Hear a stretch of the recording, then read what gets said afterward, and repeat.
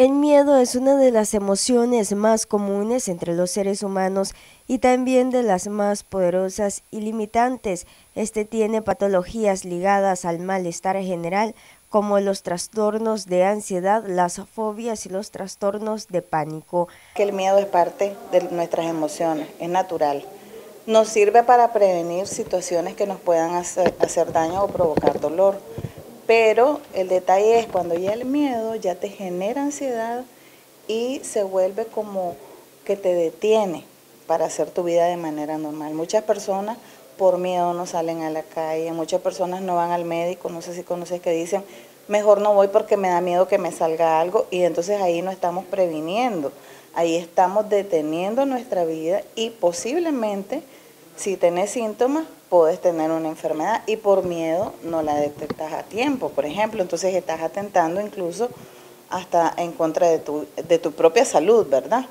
Otra de las cosas es por temor, mejor no intento entrar a la universidad porque de todos modos me van a decir que no. Ahí hay miedo, pero estás obstaculizando ese eh, deseo de desarrollarte profesionalmente, por ejemplo.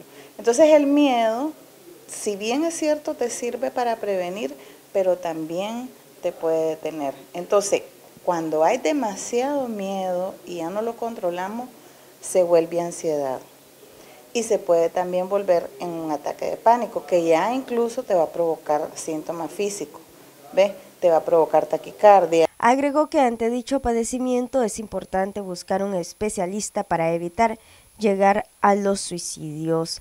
Cuando yo creo que puedo sola, y estoy sintiendo los malestares y estoy sintiendo el temor, la ansiedad que me genera y todos los síntomas que tengo, pero no busco ayuda.